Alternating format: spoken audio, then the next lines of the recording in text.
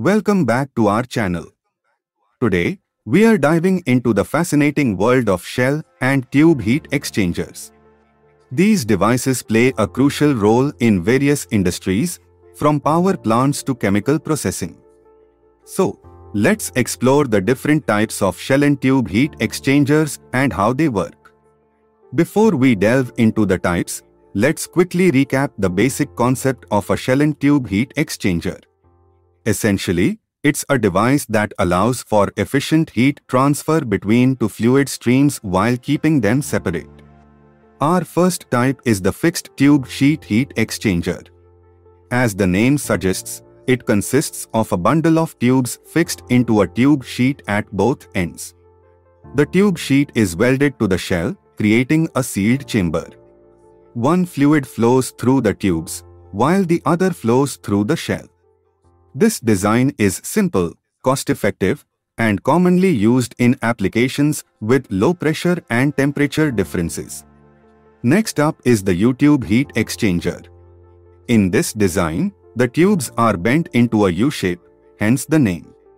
Both ends of the U-tubes are fixed into a tube sheet. One fluid enters through the shell and flows around the U-tubes, while the other fluid passes through the tubes.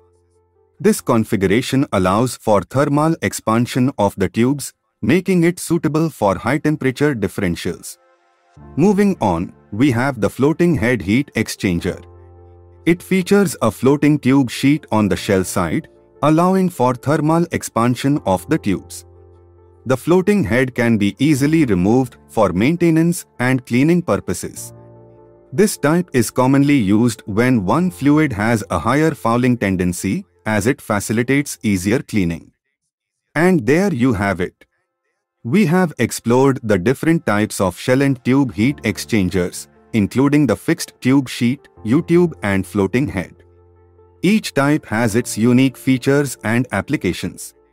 So, the next time you come across a heat exchanger, you'll have a better understanding of its configuration and purpose we will be taking a closer look at the components that make up a shell and tube heat exchanger. These devices are used extensively in various industries, including power plants, chemical plants, and oil refineries. They are designed to transfer heat between two fluids, such as gases or liquids, while keeping them separate. So, let's break it down and understand the key components involved. The first component we will discuss is the shell. As the name suggests, it forms the outermost layer of the heat exchanger. The shell is typically a cylindrical or rectangular chamber that encloses the tube bundle and provides structural support. It's usually made of materials like carbon steel, stainless steel, or even exotic alloys, depending on the application and the fluids being handled. Inside the shell, we have the tube bundle, which is the heart of the heat exchanger. The bundle consists of multiple tubes arranged in parallel, running the entire length of the shell. These tubes can be straight or U-shaped, and their size, material, and configuration depend on factors like the desired heat transfer rate, pressure, and temperature requirements. The next crucial component is the tube sheet, which acts as a divider between the shell side and the tube side. It's a thick metal plate that's securely welded or bolted to the shell. The tube sheet contains precise holes to accommodate the tubes, ensuring a tight and leak-proof seal. This arrangement allows the fluids in the shell and the tubes to flow independently. To enhance heat transfer, we have baffles or support plates within the shell. These devices direct the flow of the fluid and increase turbulence, maximizing the contact between the hot and cold fluids. Baffles are typically perforated plates or rods strategically placed along the length of the shell. They prevent tube vibrations and help maintain structural integrity. Now, let's move on to the next component, which is the shell side fluid inlet and outlet. These are openings in the shell that allow the entry and exit of the fluid on the shell side. The fluid is usually introduced through a nozzle or pipe connected to the shell. Similarly, an outlet nozzle ensures the fluid leaves the heat exchanger after the heat transfer process. Finally, we have the tube side fluid inlet and outlet. These openings, located on the tube sheet, allow the entry and exit of the fluid on the tube side. The tube side fluid can flow in a parallel or counterflow configuration, depending on the desired heat transfer efficiency. The inlet and outlet nozzles are connected to the tubes, ensuring a smooth passage for the fluid. And there you have it, the key components of a shell and tube heat exchanger. We hope this breakdown has given you a better understanding.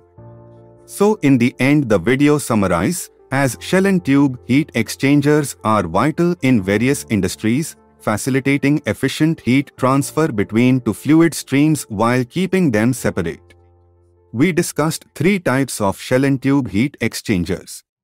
Fixed tube sheet, U-tube, and floating head. Each type has its unique features and applications. In terms of components, we explored the shell, which forms the outer layer and provides structural support. Inside the shell, we have the tube bundle consisting of multiple tubes arranged in parallel. The tube sheet acts as a divider between the shell side and the tube side, ensuring a tight seal with precise tube holes. Baffles or support plates are used to enhance heat transfer by directing fluid flow and increasing turbulence. The shell and tube sides have fluid inlet and outlet openings, allowing for the entry and exit of fluids. Understanding these components helps in comprehending the configuration and purpose of shell and tube heat exchangers.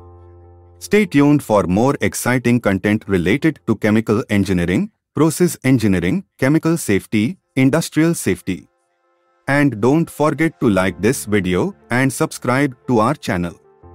Thank you for watching and see you next time.